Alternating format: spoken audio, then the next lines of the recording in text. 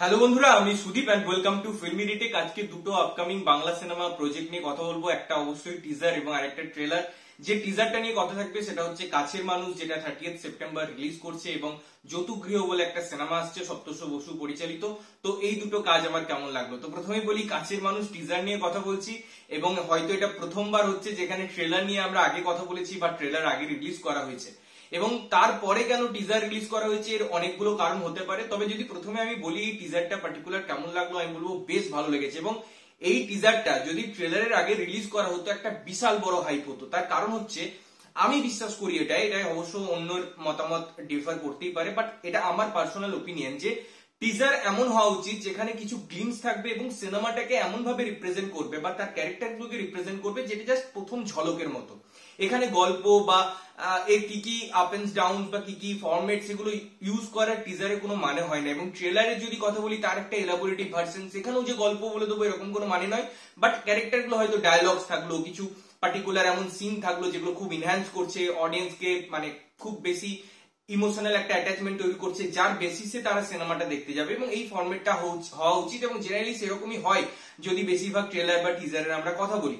কিন্তু এখানে ট্রেলারে আমরা অনেক অংশ দেখতে পেয়েছি, তিন চারটে গানের ঝলক পেয়েছি এবং তারপর অনেকগুলো গান রিলিজ হয়েছে ফুল ফর্মেটে এবং লাস্টলি এখানে যেটা আনা হয়েছে সেটা হচ্ছে টিজার এবার টিজারের যদি কথা বলি টিজারটা কেন এত ভালো? কারণ এখানে আমরা বেশ কয়েকটা ইভেন্টস দেখতে পাচ্ছি এবং এই ইভেন্টসগুলো খুব ক্যাচি এখানে আমরা ঈশা সাহার প্রেজেন্স বলি প্রেজেন্স বলি বা আমাদের প্রসেনজিৎ দার প্রেজেন্স বলি বা দেবদার প্রেজেন্স বলি, তাদের ক্যারেক্টারগুলো যে আপ এন্ড ডাউন এবং মায়ের সাথে তাদের যে একটা ইমোশনাল মোমেন্ট তৈরি করা হয়েছে এবং যেটা গানটা ইউজ করা হয়েছে থরলি পার্টিকুলার টিজারে সেটা সোনু নিগমের গাওয়া গান একটা ভালো অ্যাটমসফিয়ার ক্রিয়েট করছে। সিনেমায় এক্স্যাক্টলি ভালো জায়গায় পুট করা হলে সিনেমাটা দারুণ ভাবে প্রেজেন্টেশন ওয়াইজ হয়তো ক্যারি ফরওয়ার্ড হবে। তো এই সব ম্যাটারগুলো রেখে পরে টিজারটা ডিজাইন কিন্তু আমার বেশ ভালো লেগেছে এবং এই পার্টিকুলার সাবজেক্ট বা যে সিনেমা বা যে ঘটনাটার কথা বলা হয়েছে, সেটা খুব সুন্দরভাবে ইনহ্যান্স করছে এবং আমরা যদি এটা সবসময় মাথায় রাখার চেষ্টা করি যে ট্রেলারটা দেখিনি, এটা ভুলে যায় শুধু যদি টিজারটা নিয়ে কথা বলি, একটা দারুণ আমার মনে হয় কাজ ব্রিলিয়েন্ট ওয়েটে প্রেজেন্ট করা হয়েছে এবং হয় না যে অনেকদিন আগে একটা ট্রেলার রিলিজ করা হয়েছে সিনেমার পাঁচ দিন আগে একটা বা ছদিন দিন আগে একটা সিনেমার প্রতি আরেকটা হাইপ ক্রিয়েট করব। এই বেসিসে বা এই চিন্তা ভাবনা তো আমার মনে হয় তাদের টিম করতে পারে। বা একটা যে আমরা সবসময় যে ক্যাজুয়ালি একটা জিনিস নিই বা একটা যেটা ফরম্যাট মেনটেন করি, যে প্রথমে টিজার তারপরে ট্রেলার এটাকে ব্রেক করার একটা রিজন হতে পারে দেবদার। কেননা আমরা সবসময় জানি যখন প্রমোশনাল ব্যাপার আছে এবং এই টিজার ট্রেলার এগুলো কিন্তু প্রত্যেকটাই একটা সিনেমার প্রমোশনাল মেটেরিয়াল যেটা কিন্তু পার্টিকুলার ওই সিনেমাটা দেখার জন্য বা সিনেমার প্রচারের জন্য ইউজ হয়। তো সেই রিলেটেড যে কোনো জিনিসই আমার মনে হয় সিনেমার একটা প্রমোশনাল পার্ট তো তারা যখন ভেবেছে এই প্রমোশনটাকে ডিফারেন্ট ওয়েতে প্রেজেন্ট করবে, সেটাও আমার মনে হয় বেশ ভালো পদক্ষেপ ছিল, এবং সেই জায়গায় এরা সফল হয়েছে অডিয়েন্সের যে একটা দমে যাওয়া ব্যাপার থাকে যে অনেকদিন আগে ট্রেলার দেখেছি, আবার তিরিশ তারিখে সিনেমাটা দেখব, তাদের একটা রিফ্রেশমেন্ট হওয়া, তাদের আবার ওই সিনেমাটা নিয়ে ভাবা, কথা বলা, এই যে একটা প্রসেস আমার মনে হয় খুব সুন্দরভাবে ইনহ্যান্স করবে ট্রেলারটা এই টেকনিক্যালস বা কালার বা অন্যান্য ডিপার্টমেন্টে নিয়ে আর কি বলব, সেগুলো তো আমরা প্রত্যেকটা ট্রেলারে বলেছি, বাকিটা সিনেমা দেখে পুরোটা অ্যানালাইসিস করা যাবে বাট অ্যাজ এ টিজার এইটা কিন্তু আমার বেশ ভালো লেগেছে। এবারে আসি যৌতুগৃহর কথায়, যেটা অভিনয় করছেন বা যেটাতে অভিনয় করছেন, মণি সেনগুপ্ত আছেন পরমব্রত তো পার্টিকুলার এটা একটা হরার জনরা এবং বাংলায় সেভাবে কিন্তু হরার জনরাকে কখনোই এক্সপ্লোর করা হয়নি কথাটা আমরা বারবার বলি। এবং যদিও বা করা হয়েছে, সেখানে আমরা বিভিন্ন জিনিসের ছাপ পাই, কোথাও থেকে কোনো জিনিস ট্রিটমেন্ট কপি করার কথা বলি।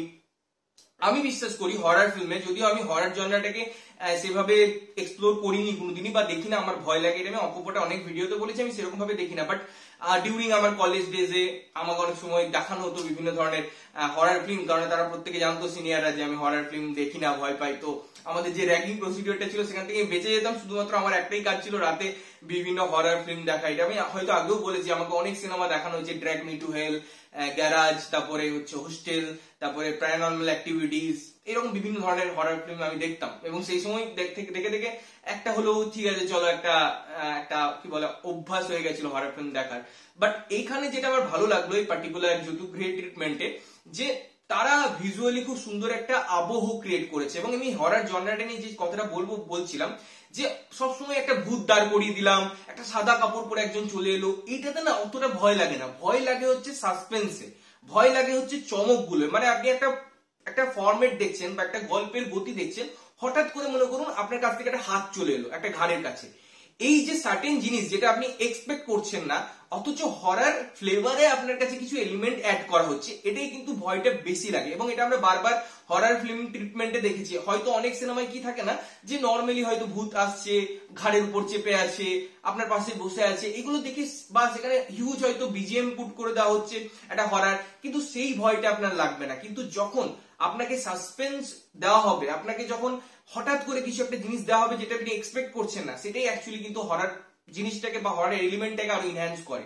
এবং পার্টিকুলার এই ট্রেলার ট্রিটমেন্টে আমার সেটা লেগেছে থরলি এবং বিভিন্ন জায়গায়। সেটা যখন একটা পরমব্রত জব করছে, বিভিন্ন জায়গায় হিলছে বা যখন একটা জায়গায় আগুন লাগাচ্ছে, একটা পোর্শনে তার পিছনে কাউকে ফিল করছে, এই সব জিনিসগুলো বা এই ট্রিটমেন্টগুলো কিন্তু ওভারঅল বেশ ভালো লেগেছে। বা একটা জায়গায় আমরা দেখতে পাচ্ছি দূরে একটা ছেলে দাঁড়িয়ে আছে পুরো যে কটেজটা সেখানে।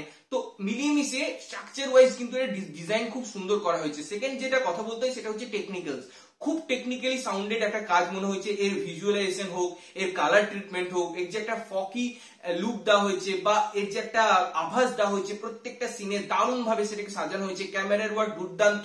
আগুন ছায়া, আলো, আঁধার, নীল প্যালেট, সব মিলিয়ে একটা দারুণ অ্যাটমসফিয়ার ক্রিয়েট করছে এবং হরার অ্যাটমসফিয়ার ক্রিয়েট করছে এটা বলাই যায়। অভিনয়ের ক্ষেত্রে পরমব্রতকে দারুণ লাগছে তার লুক ভ্যারিয়েশনটাই এবং তাকে যে ভাবে রোলটা দেওয়া হয়েছে বা যে পার্টিকুলার ক্যারেক্টারটা তিনি প্লে করছেন, তার একটা পাস্ট আছে এবং সেই সব মিলিয়ে মিশিয়ে তিনি যেভাবে বনির সাথে তার সম্পর্ক স্থাপন করছেন বা বনির যে ক্যারেক্টারটাকে এখানে দেখানো হয়েছে, আমার বেশ ভালো লেগেছে। বনির অ্যাজ ইউজুয়াল যে ক্যারেক্টারগুলো প্লে করেন একদম pure in and out commercial তার থেকে বেরিয়ে এসে একটা অন্য ধরনের কাজ করা এবং আমি এই এক্সপেক্টার গুলোকে সবসময় স্বাগত জানাই যে একজনের নতুন কিছু ট্রাই করা উচিত। সে যতই কমার্শিয়ালি হিট অ্যাক্টার হোক বা তার যতই ফ্যান বেস থাকুক, তাকে নতুন ঘরানা ইউজ করা উচিত। এখানে আমরা অংশুমানকে দেখতে পাচ্ছি অনেকদিন পর। তার অভিনয় বা তার প্রেজেন্সটাও এখানে বেশ ভালো লাগছে। তো ওভারঅল মিলিয়ে মিশিয়ে কিন্তু আমার ডাইরেকশন হোক বা এর ওভারঅল ট্রিটমেন্ট হোক বা টেকনিক্যালস হোক বা টোটাল ডিজাইনিংটা হোক, আমার খুব ভালো লেগেছে এবং আমি সিনেমাটা দেখার প্রতি এগারলি ওয়েট করছি। তোমরা যদি দেখেছ এই টিজারটা এবং ট্রেলারটা কেমন লেগেছে, আমাকে অবশ্যই কমেন্ট করে জানিও। ততক্ষণের জন্য ভালো থাকবে, সুস্থ থাকবে এবং সবসময় ভালো জিনিস দেখবে। চ্যানেল প্রথমবার দেখছ লাইক কমেন্ট শেয়ার করতে হবে সাবস্ক্রাইব করতে হবে, যাতে প্রত্যেক নোটিফিকেশন তোমাদের কাছে পৌঁছায়। ততক্ষণের জন্য, টাটা।